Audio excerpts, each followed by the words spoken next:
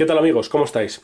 En este vídeo os voy a enseñar a instalar desde cero un disipador de calor de CPU para un ordenador, para cualquier ordenador, puede ser eh, una instalación nueva o como en este caso la sustitución de este disipador viejo que tiene menos potencia de disipación que este nuevo que vamos a instalar.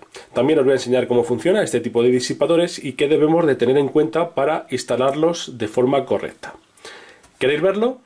Comenzamos.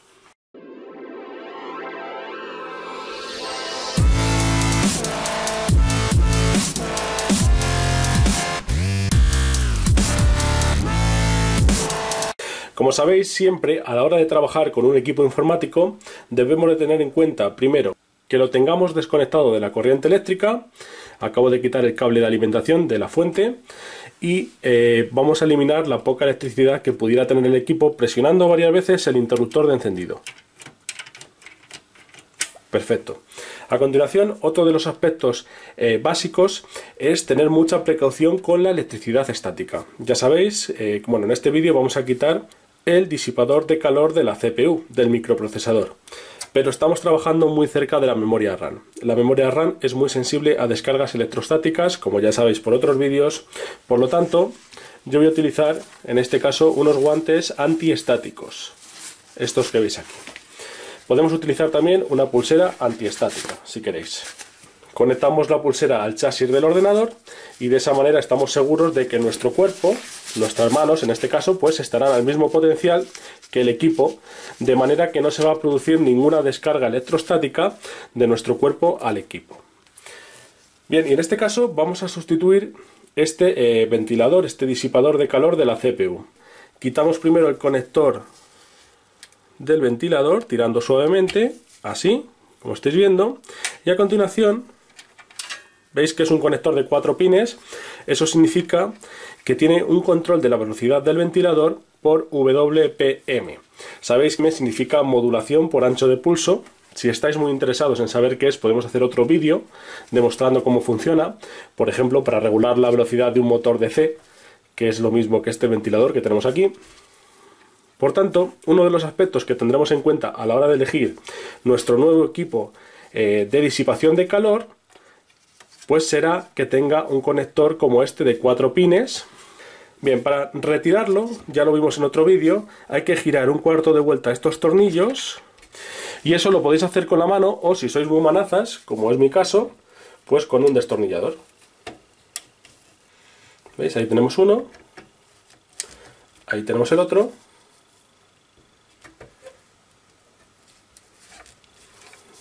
Y vamos a por el último.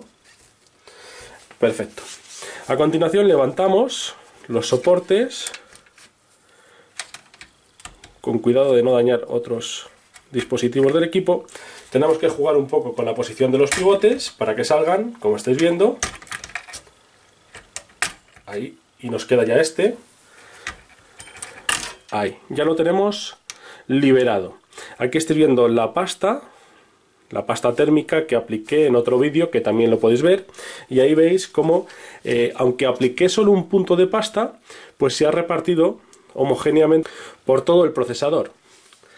¿veis? a continuación esto lo vamos a limpiar con un poco de alcohol.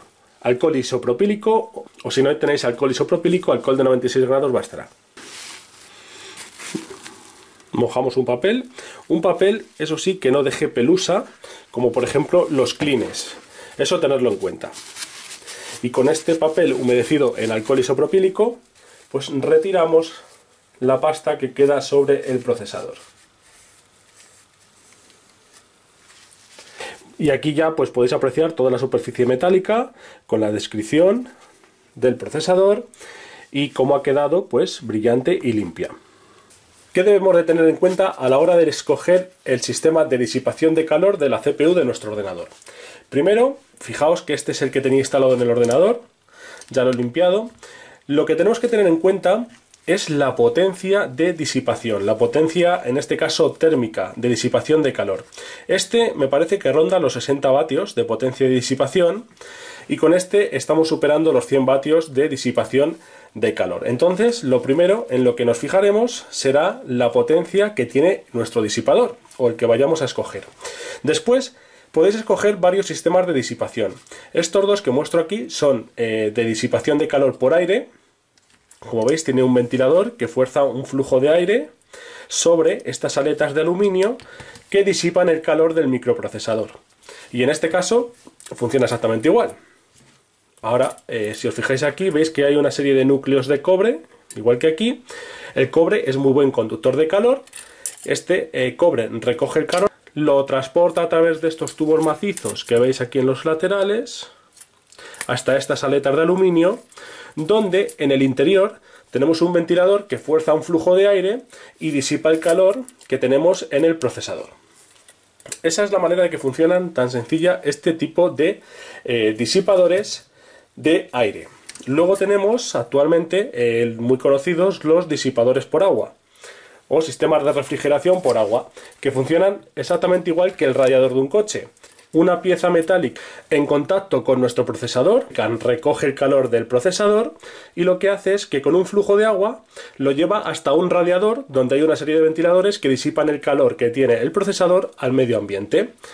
Bueno, los radiadores pueden ser de dos o tres ventiladores, eso varía en función de la potencia de disipación que tenga ese equipo de refrigeración de calor de la CPU.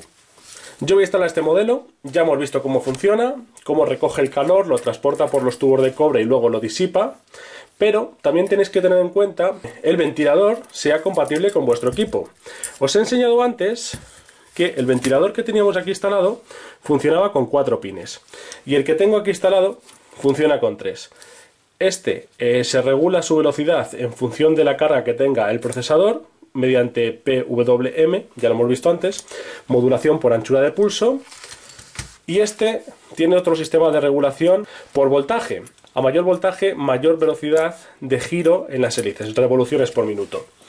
Entonces, ¿qué vamos a hacer? Este ventilador que tiene en el centro lo vamos a cambiar por uno que sea con regulación PWM.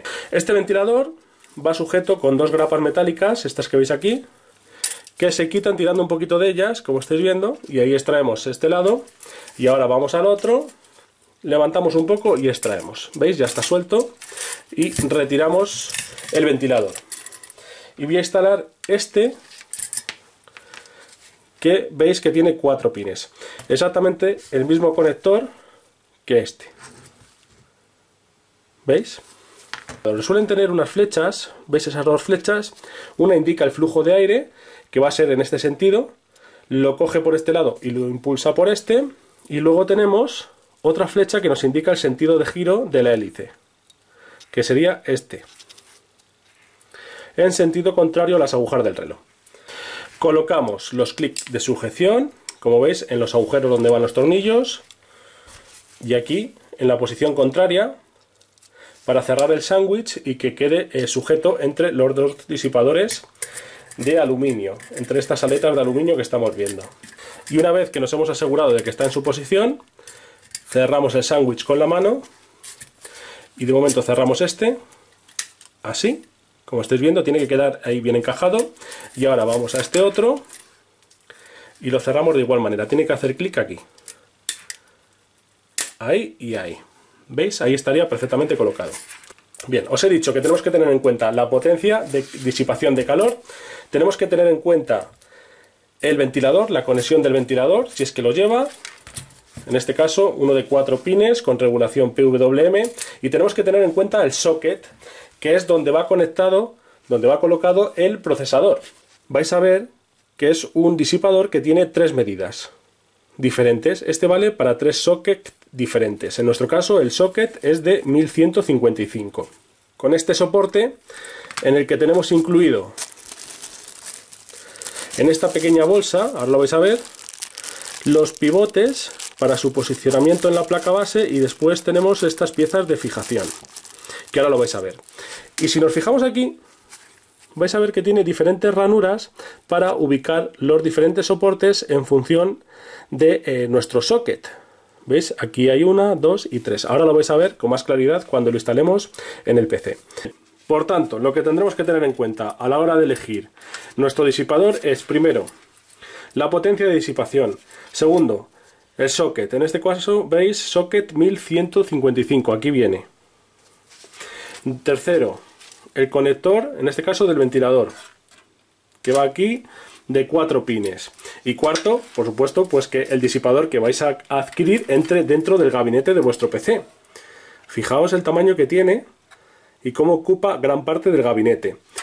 Y luego, a la hora de instalarlo, tendremos que tener en cuenta el flujo de aire en nuestro PC. Este PC se refrigera por aire y el aire frío entra por este lado, entra aquí en el gabinete, refrigera la gráfica, refrigera la CPU y luego sale por este ventilador por aquí al exterior. Por lo tanto, si nos fijamos en las flechas de nuestro ventilador, yo no lo puedo instalar así porque el aire estaría siguiendo un flujo inverso al que tenemos en la disipación, en la refrigeración de nuestro PC. En nuestro PC el sentido del aire es este y sale por aquí. Si lo instalo de esta manera, estoy forzando el flujo del aire en aquella dirección. ¿Qué es lo que tengo que hacer? Instalarlo al revés, con la flecha hacia allí. Y de esta manera, veis ahora la flecha que nos indica el flujo del aire, el aire entra por aquí, entra al gabinete y este ventilador lo fuerza a pasar en esta dirección por las aletas, estas aletas que tenemos aquí de disipación de aluminio y por estas otras de aluminio y luego ya sale por este ventilador que los pulsa fuera del gabinete. Por lo tanto, como digo, mucha precaución con estos detalles que al final son importantes. Esta es la bolsa de accesorios que teníamos. Esta, como digo, es la pasta térmica que viene incluida, no la voy a utilizar. Y estos pivotes son los que van a sujetar el soporte. Este pivote con esta pieza negra que luego va a ir en el centro. Fijaos, este es el soporte y como veis, como ya os indiqué, tiene varias posiciones. Para utilizarlo en este socket tiene que ir aquí en la posición intermedia. ¿Veis? Fijaos aquí que tiene varias ranuras. Lo podría haber instalado en la de atrás o en la de adelante, pero lo he instalado justo en la posición intermedia. Veis que tiene en los cuatro lados, tiene el soporte para luego colocar el disipador. Por lo tanto, esta posición importa menos. Ahí tenemos instalado uno, aquí el otro. ¿Habéis oído cómo hace clic cuando entra el pivote? Y además del clic, observáis que se queda al mismo nivel que el plástico. ¿Veis? Ha hecho clic y se ha quedado al mismo nivel que el plástico. Cuando vemos esto es que está bien introducido. Clic y se queda al mismo nivel clic y se queda al mismo nivel. Y ahora fijamos cada pivote con estas piezas de plástico que lo que hacen es expandir esas pestañas de plástico que hemos visto. Se expanden por la parte de abajo, es como si mis dedos se separaran e impide que salga ese pivote de plástico del agujero. Entonces colocamos una en cada pivote y lo apretamos hacia abajo. Ahí.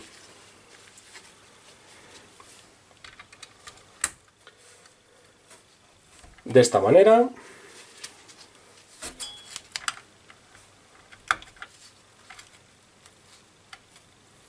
Así.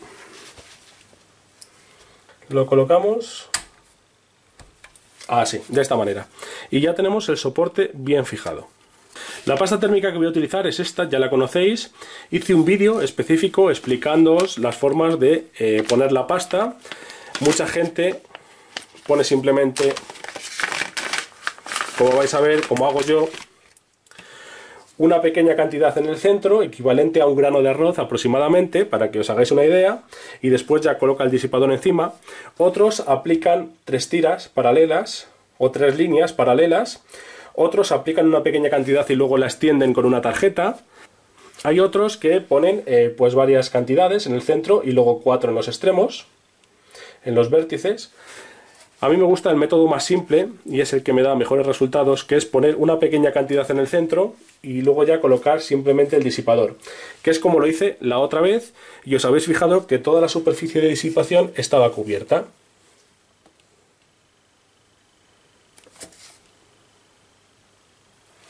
Bien, con esa cantidad será suficiente. Como os decía antes, es mejor eh, quedarse corto que pasarse y manchar todo lo que es el procesador. Cuesta muchísimo limpiarlo, incluso tendríamos que desmontarlo. Bien, y ya solo nos queda instalar el disipador. Recordar el sentido del flujo del aire.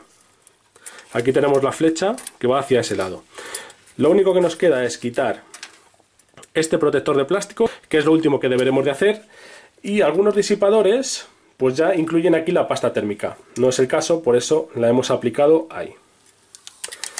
Retiramos esta protección y fijaos que lo único que tenemos que hacer es ahora, eh, con estos clics metálicos que estéis viendo a cada lado, es anclar esta pieza en el procesador. Entonces ahora con mucho cuidado lo colocamos aquí encima y fijamos estas piezas de metal. Ahí tenemos una, ya habéis oído el clic. Y ahora vamos aquí a este otro lado y ahí tenemos sujeta la otra parte. Vamos a girarla. ¿Veis que ahí está sujeto uno? De hecho, fijaos qué bien sujeto queda. Y aquí hemos conectado el otro clic también en la base.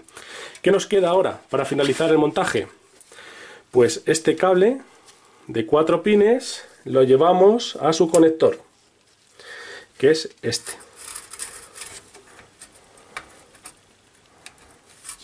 Ahí lo tenemos conectado y lo bajo hasta el final ayudándome de los dedos. Lo único que nos queda es colocar, si podemos, este cable por aquí para que no estorbe en la disipación. Incluso podemos utilizar esta pinza metálica del ventilador para eh, sujetar el cable por la parte interna ya que no lo presiona. Lo colocaríamos por aquí, como estáis viendo, y ahora volvemos a colocar esta pinza metálica en su posición. ¿Veis cómo el cable queda suelto? La pinza ahí estaría colocada en su sitio. Bien, y como veis, el cable, pues ahora eh, queda suelto, pero queda sujeto, aquí lo estáis viendo, queda muy bien recogido con la longitud apropiada y no estorba en la ventilación del PC. Como os digo, el aire entraba por aquí, aquí teníamos la flecha, que el aire lo dirige hacia atrás y el aire caliente del disipador sale con este ventilador al exterior del gabinete. Con esto el montaje está finalizado. Como siempre voy a aprovechar para hacer eh, algún pequeño mantenimiento en el PC, limpieza y demás. Espero que os haya gustado, os haya parecido interesante y nos vemos en un próximo vídeo. Un saludo.